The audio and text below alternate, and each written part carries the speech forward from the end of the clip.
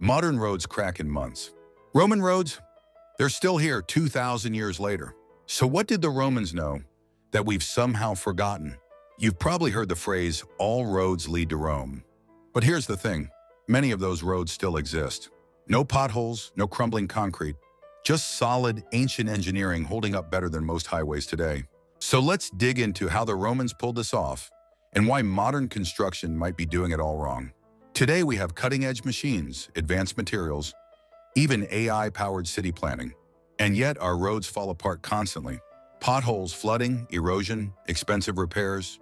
Meanwhile, Roman roads built with no electricity, no heavy machinery, and no modern cement are still solid. Doesn't that raise a few questions? Roman roads weren't just dirt paths or random slabs thrown together. These were layered masterpieces. First, they dug trenches, deep ones. Then came four layers, statumen, large stones for the foundation. Rudus, crushed stones mixed with lime. Nucleus, finer gravel and sand. Summum dorsum, tightly fitted paving stones on top.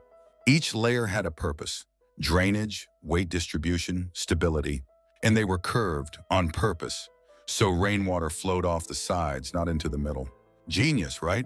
They even used volcanic ash to make pozzolanic concrete, a mix that could harden underwater and only got stronger with time.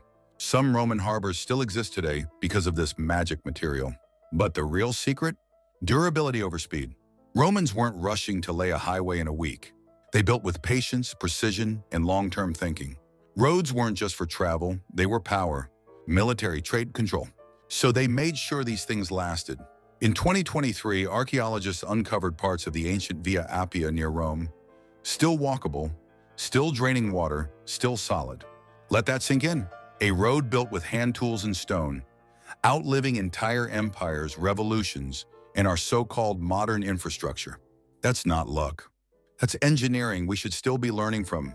The Romans didn't have GPS, but they mapped and built over 250,000 miles of roads, many of which outlast our highways built last decade. Their secret wasn't high-tech. It was deep understanding of nature, materials, and time. Maybe, just maybe, instead of building faster, we should be building smarter. If you enjoy our journey, please like and subscribe to our channel. And if you like our content and want to support me, you are welcome to buy me a coffee. The link is in the description box below.